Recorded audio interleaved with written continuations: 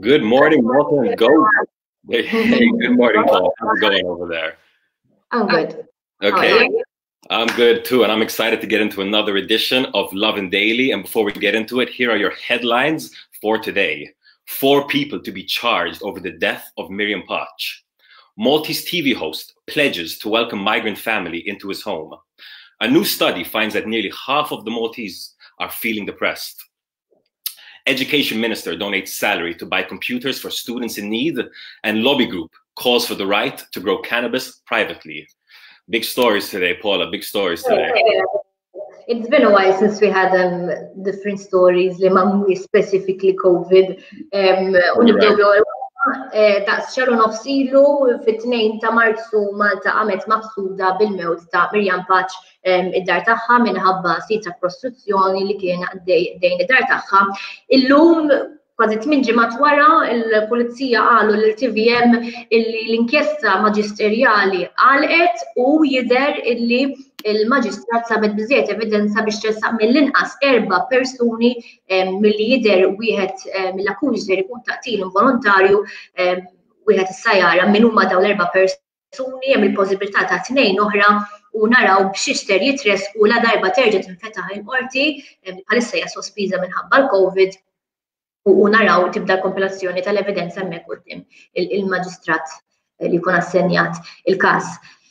Fl-aħħar qed naraw ċaqliqa f'dal każ taħseb ġoni kollox ħabba l-COVID imma nispera li qed issir. So as you said, this was a massive incident that rocked Malta about a month and a half ago. I mean, you know, we were shocked and and it's kind of sad to see how fast the story kind of went away, but I'm so happy to see that there was development on this. Four people arrested to be charged, as you said yourself, on charges including involuntary homicide. Now the question is, will this actually lead us to looking at a proper solution for the construction industry and safety in Malta? Hopefully, this will get us to the root of the problem.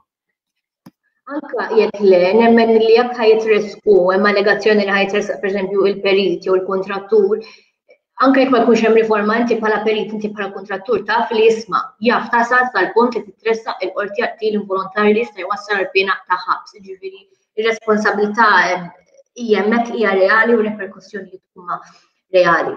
Naraw terġa' tiftaħ il-qorti għax hemm ħafna każijiet pendenti li qed jistennew biex jaraw x'ħajkun. That's exactly it. And talking about opening up, um, yesterday a massive story and a lot of a bit of controversy actually. Um, one of Malta's most popular television hosts, uh, Peppi uh, Azzopardi of Xarabank, pledged to welcome a migrant family into his home. Um, and obviously, this comes amid a massive controversy as ships are coming from North Africa to Europe, to Malta, and finding ports closed. Ports from Spain, Italy, and Malta have been deemed unsafe because of the coronavirus outbreak. And now ships are being stranded at sea. And now Peppi Azzopardi, who's always been a vocal supporter of the vulnerable, has put his money where his mouth is and said that he's ready to welcome a migrant family into his home and urged anyone who has the cap capacity to do it to do the same. What do you, what do you make of this, Paula? Big words. Eh, jinnna mira il-fatt li Pepjazzo Pardi u oħrajn li tkellmu waraj eh, l-estil għaw l-immigranti li ġejjin ma nafu ma nafu għamx minn għadam eh, ġodarhom. Però din miex soluzzjoni. Ġifiri, jekk qed naħsbu illi għax umu nies bħal Pepe Pardi u erboħra li qegħdin joffru d-dar tagħhom biex dal-immigranti ma jibqawx bej sema u ilma, sfortunatament mhijiex soluzzjoni sostenibbli.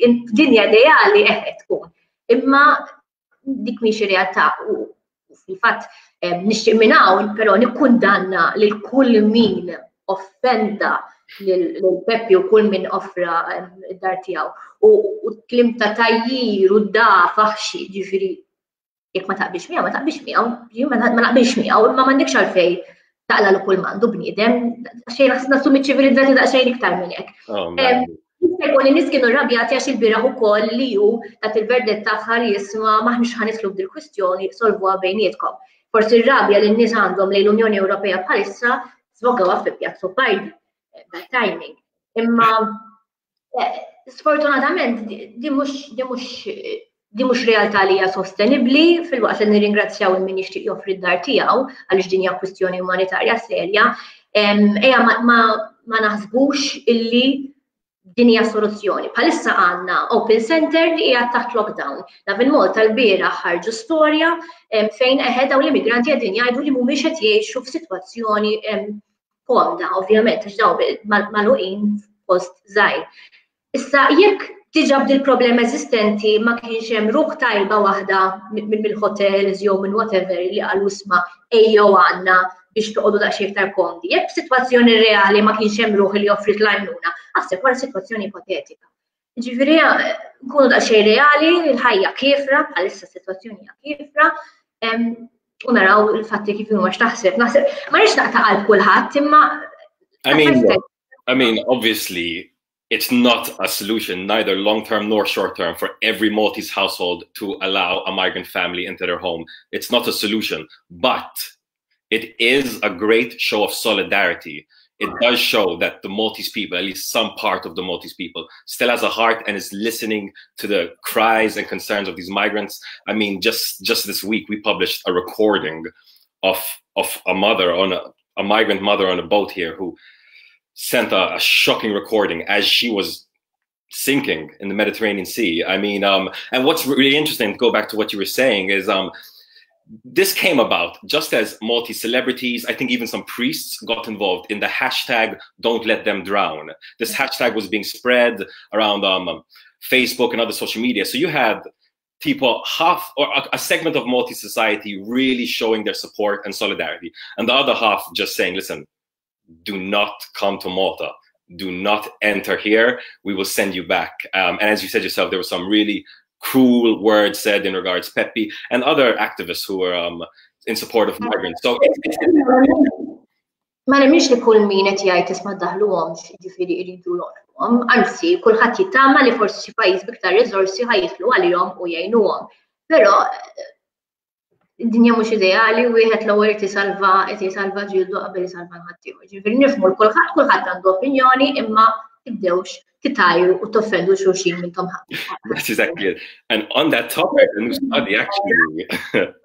Għamatu update fuq il-kazijiet il-biraħ tħabru disa kazijiet ġodda ta' persuni li għandhom il-COVID-19 kollox għanna 339 kas minn da disa kazijiet minn ħalfar, però fi u 44 persuna sista forsi. No, I mean, that's really awesome. I mean, we have to really remember that there is a recovery rate going on. Um, don't just focus on the new case numbers every day. Focus as well on the recovery rate, 100%. Mela, um, on to our next story, it's COVID related, but it's a reality. A study li għamlet Richmond Foundation uh, juri illi nofs il-popolazzjoni Maltija hija depressed, għat minn depressjoni l-maġġoranza tal-ħin. Speċjalment da żmien jiena hawn iktar minn nofs li għandhom depression, anke minn ma kellux problemi ta' saħħa mentali qed niżviluppawhom, jiġifieri kulħadd qed tibgħat minn ansjetà, kulħadd qed jewden, hemm min żgur li mhux qed joqgħod fil-għaxija minħabba li l-futur huwa inċert. Fortunatament, hemm helpline il-1770 għal min jixtieq ikellem minn xi ħadd punt interessanti minn dar istudju John kien illi fil-waqt li popolazzjoni in ġenerali wieħed minn kull mit persuna jaħseb fis-suicidju jew fis-self-harming kollu, dirra ta' tikber ġifiri għal min użar min għandu bej 16 u 24 sena irra ta' tikber għal tlieta minn kull mit eh, ġuvni eh, jew tfajla jaħsbu fis-suicidju il-ħin kollu f'dan iż-żminijiet. Rata. It's it's a really shocking study, but I think it's really important that we did this study. I mean, this study was conducted by Richmond Foundation, and the CEO of the Richmond Foundation, Stephania Dimech Sant, said that the mental health impact of the pandemic will last longer than the physical health impact. 47% um, is not a joke number. That's nearly half of the Maltese population saying they feel depressed during this time, most of the time during this crisis. Mm-hmm. And as you said, there are some other shocking statistics. You know, a rise in people thinking about suicide. That's never a good look.